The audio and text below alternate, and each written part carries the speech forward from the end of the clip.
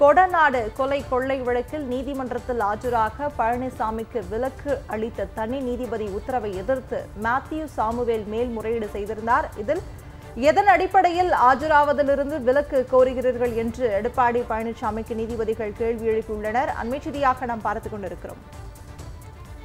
இது சம்பந்தமாக எமது செய்தியாளர் ராம்ஜியிடம் கேட்கலாம். வணக்கம் ராம்ஜி. நீதிமன்றத்தில் ஆஜராவதிலிருந்து விலக்கு அளிக்க கோரி எடப்பாடி பழனிசாமி கூறும் காரணங்கள் ஏற்றுக்கொள்ளும்படியாக இல்லை என்று சென்னை உயர்நீதிமன்றம் தெரிவித்திருக்கிறது. இதை பற்றிய கூடுதல் விவரம் என்ன?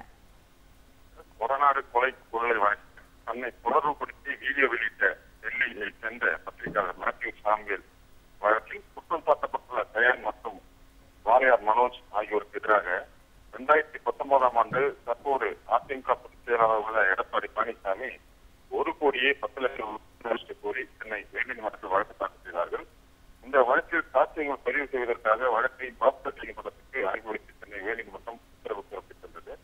இந்த நிலையில உயர்நீதிமன்ற வளாகத்தில் உள்ள மாஸ்டர் நீதிமன்றத்தில் நேரில் ஆஜராகி சாட்சியம் அளிக்க இயலாது எனவும் நமது வீட்டு சாட்சியத்தை பதிவு வழக்கு- வழக்கறிஞர் ஆணையரை நியமிக்க வேண்டும் என கோரி எடப்பாடி பழனிசாமி சார்பாக உயர்நீதிமன்றத்தில் மனு தாக்கல் அந்த மனுவை ஏற்றுக்கொண்ட உயர்நீதிமன்றமும் ஒரு வழக்கறிஞர் ஆணையரை நியமித்தது தனி நீதிபதி நியமித்து உத்தரவு பிறப்பித்தார்கள் இந்த உத்தரவை எதிர்த்து சாமுel மாத்யூ சாமுel சாமுel மாத்யூ தாக்கல் செய்த மேல்முறையீடு மனு இந்த நீதிபதிகள் மகாதேவன் மற்றும் நீதிபதி சாதிக் அவர்கள் முன்பு இந்த விசாரணைக்கு வந்தது.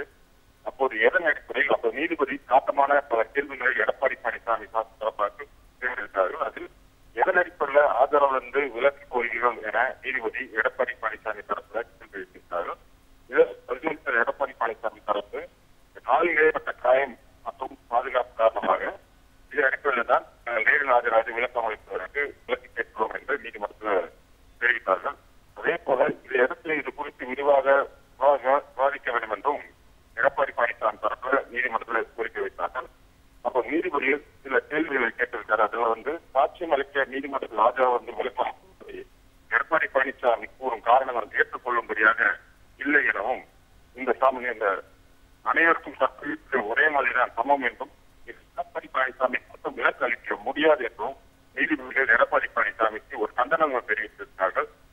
இந்த சட்டம் அனைவருக்கும் சமம் என்பதால் நீங்கள் கூறும் காரணத்தை எங்களால் ஏற்றுக்கொள்ள முடியவில்லை என்றும் மாற்று நீதிமன்றத்தில் ஆஜராகி சாட்சி சாட்சி அளிக்க வேண்டும் என்று எடப்பாடி பழனிசாமி வந்து விலக்கு அளிக்க வேண்டும் என்று கூறும் காரணம் தற்போது ஏற்றுக்கொள்ள முடியவில்லை எனவும் எனவே அவர் இது குறித்து முழு செய்ய வேண்டும் என்று எடப்பாடி பழனிசாமி தரப்புக்கு ஒரு உத்தரவு பிறப்பிச்சிருக்காங்க கூடுதல் விவரங்களை வழங்கியதற்காக நன்றி ராம்ஜி.